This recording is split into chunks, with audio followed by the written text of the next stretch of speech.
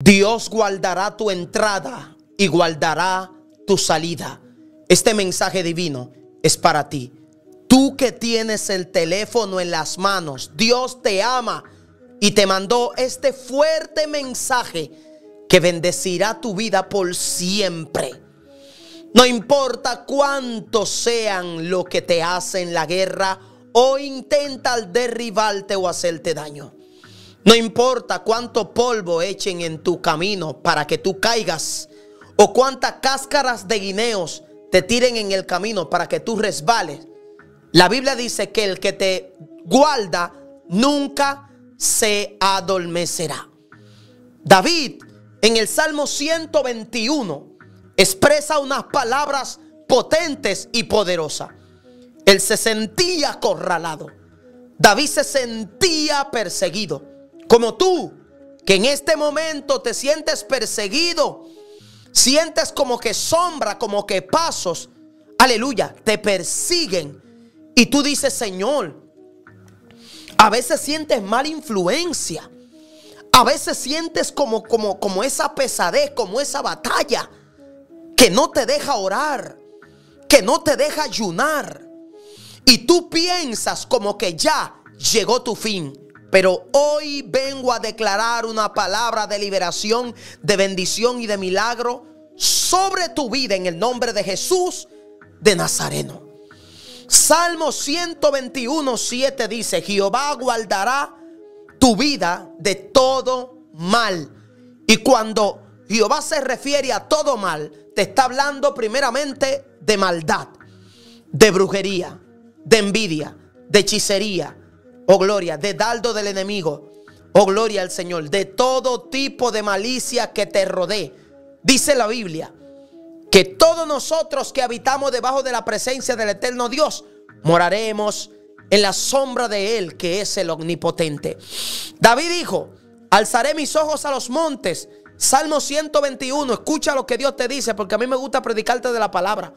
Para que tú no vayas a decir, no, porque el varón te emocionado me dijo esto. No, no, no, no. La palabra de Dios es la vida. Y yo vine a predicarte un mensaje eclesiástico. Un mensaje que te va a bendecir de parte de Dios. Quizás en este momento te sientes perseguido, acorralado, sientes que cuando sales de tu casa, sientes como que te va a pasar algo. Oh, gloria, porque yo he vivido esos momentos. Cuando entras a tu casa, tienes miedo a, que, a, haber traído algún espíritu raro. Porque eso yo lo he vivido. Pero ¿qué dice el salmista sobre esto? Él dice en el Salmo 121, alzaré mis ojos a los montes. Primero, los montes significa lugares altos. Cuando tú miras hacia arriba, estás invocando el nombre de Jehová y estás confiando en lo que no se ve, pero en lo que realmente existe, más que lo que tus ojos están viendo. Oh, gloria a Dios. Alzaré mis ojos a los montes, dice David. Y él se pregunta, ¿de dónde vendrá mi socorro? Y él mismo tuvo que contestarse. Llegará un momento donde tú te sentirás solo, pero no estarás solo porque Dios lo permitirá para que tú mismo te contestes. Sí, yo sé que Dios está conmigo y me irá bien porque Él me llamó, Él me escogió. Quiero que entiendas esto que te digo de parte de Dios.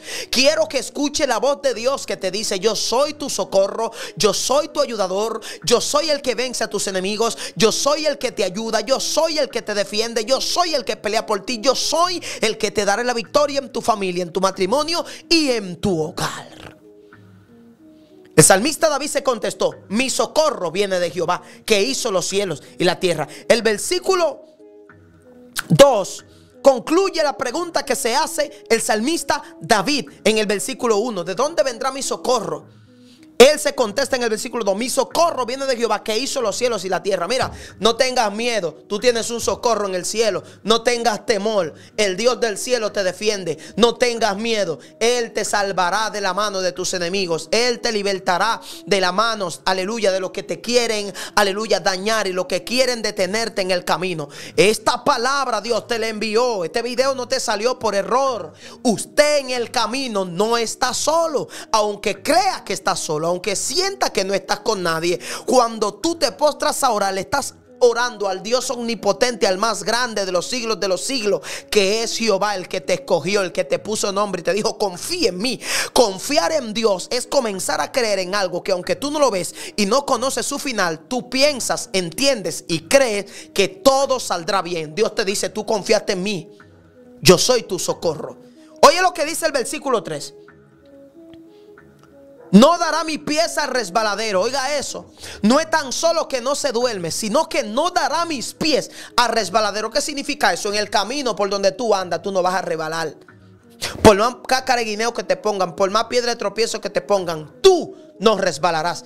Ni en tu trabajo, ni en la iglesia, ni en la escuela, en ningún sitio, a menos que Dios no lo permita. Y Él dice que no se duerme, que Él que te guarda no se adormece, sino que siempre está ahí, pendiente de ti, cuidándote, protegiéndote. Si tú pudieras ver en el mundo espiritual cuántos ángeles tienes tú a tu disposición, dormirías en cualquier lugar en el mundo o en la calle o a cualquier hora, porque Dios no dará tus pies a resbaladero. Y continúa diciendo el versículo 3.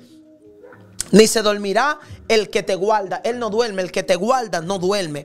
Entonces dice el versículo 4. He aquí que no se adormecerá ni se dormirá el que guarda a Israel. Jehová es tu guardador. Jehová es tu sombra, tu mano derecha. Oiga esto.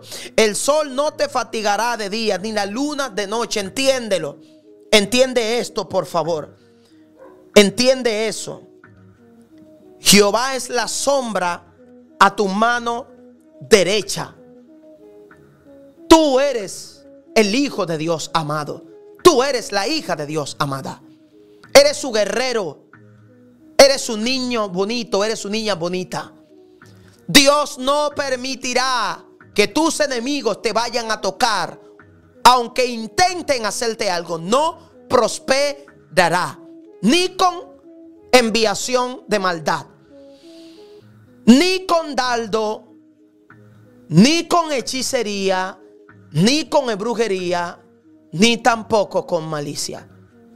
Dios va a convertir todos los daldos que te han enviado para derribarte y para hacerte daño en ricas bendiciones que te ayudarán a avanzar. Por eso yo quiero que tú entiendas que Dios guarda tu salida y Dios guarda tu entrada. En los lugares donde tú te encuentras trabajando, allí Dios ha puesto ángeles y te protege y te cuide y para siempre Dios está contigo. No tan solo que Dios te cuida y te protege a ti, Él cuida de los tuyos. Él guarda a los tuyos. Porque Él prometió hacer contigo cosas maravillosas, grandes, lindas y muy poderosas. Sus promesas se encuentran escritas en la Biblia. Por eso me gusta leer la Biblia, porque la Biblia tiene su propia interpretación por el Espíritu. Mientras te estoy hablando que Jehová guarda tu salida y tu entrada, oye donde Dios me lleva. Jeremías 29:11, donde el Señor dice, yo tengo promesa. Y si yo tengo promesa para ti, no puedo permitir que nadie te toque. Si Jehová entonces tiene promesa para ti, pues no le permitirá al enemigo que te haga daño, ni que te toque, ni que tampoco te llegue. Dios solamente va a permitir que las bendiciones de Él lleguen a tu vida. Sí, tú puedes pasar por un momento de proceso. Sí, Tú podrás pasar por un momento de angustia porque las angustias, los procesos, las dificultades, Dios la utiliza para sacar la mejor versión de bendición a nuestra vida. Porque una persona que va de camino, aleluya, al palacio, tiene que ser muchas veces desamparado, sentirse solo, perderlo todo, hasta que el Señor le bendiga, le multiplique y le honre y lo lleve al lugar de destino donde Él ha predestinado. Hay mucha gente que en el lugar donde tú estás ya se descarriaron. En el lugar donde tú te encuentras ya fueron derribados. En el lugar donde tú habitas ya fueron vencidos por sus enemigos. Estoy hablándote de enemigos espirituales porque el cristiano no puede tener enemigos físicos. Usted no puede tener gente enemiga. Su corazón, en su corazón no puede haber raíz de amargura. Entienda esto para que usted le quede claro. Para que usted no vaya a creer que yo le esté hablando de gente humana. Yo le estoy hablando de espíritu de la tiniebla, porque el apóstol Pablo dijo, porque vuestras almas no son carnales, sino poderosas para derribar fortalezas en Dios. Porque nuestra lucha no es contra sangre y carne, sino contra principados de las tinieblas y potestades de la hueste celestiales. Entiéndalo. Con su fuerza usted no iba a estar de pies para estos tiempos. Con su fuerza usted no podría mantenerse en pie tirando para adelante. Es con la ayuda de Dios. Es con la protección de Dios. Por eso Jehová te mandó a decir esto. Yo soy tu socorro. Yo soy el que te ayuda. Yo no me dormiré yo te guardaré siempre, yo estaré contigo, yo te protegeré y sobre todo, Él guardará tu entrada, Él guardará tu salida. No le tengas miedo a nadie, a ti no te puede tocar nada, a ti no te puede tocar nadie. No importa cuánta brujería te eche, no te va a. No importa cuánta maldición te eche, eso se va a revocar. Dice la Biblia que había un profeta llamado, aleluya, gloria al Señor Gloria al Señor Balaán. Y que le pagaron para que maldijera a un pueblo que ya era bendito. Entiéndelo, ya tú eres bendito por la mano de Dios. Ya tú eres cubierto por la mano de Dios. Ya tú eres protegido por la mano poderosa del Santo de Israel. Por lo tanto, nada te podrá llegar. Hay un escudo, hay una protección divina. La Biblia dice que aunque el profeta quiso maldecir al pueblo, de su boca decía, te bendigo Israel. Porque todas las maldiciones que te echaron a ti se han convertido en bendición. Porque el que es renovado por el Espíritu de Dios y cubierto por la sangre de Jesús mora bajo la sala y la sombra del omnipotente. Dice la Biblia en Isaías, como gallina sus polluelos cubre Jehová a sus hijos. Dios es un Dios de amor, de orden y de cuidado hacia los suyos. Él le dijo a Isaías, la que te amamantó te puede dejar, pero yo, tu creador, tu fundador, tu cuidador, nunca te abandonaré. Dios guarda tu salida, te dice Él. Dios guarda tu entrada. Él cuida de ti. Él cuida de los tuyos. No tengas miedo. Las cosas que Él ha permitido que tú pierdas son para Él darte otras que serán más maravillosas y más grandes. No tengas miedo. No tengas temor. Dice la Biblia en el versículo,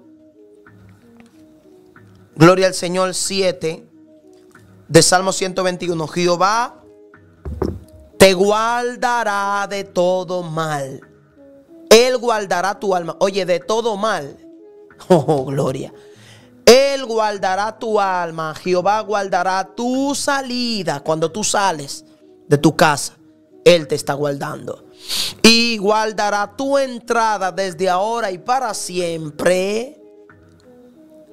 Amén. Tú ves lo que Dios te dice.